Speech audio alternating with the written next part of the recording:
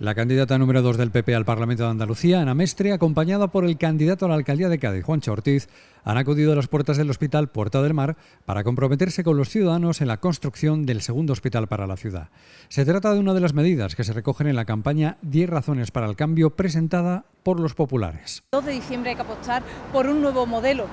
por una nueva forma, por un cambio político en nuestra tierra. Es sano, es necesario, porque el Partido Popular solicita el voto de los gaditanos, porque tenemos un modelo para Andalucía y en este caso un modelo sanitario. Creo que es muy oportuna esta iniciativa por parte del Partido Popular de,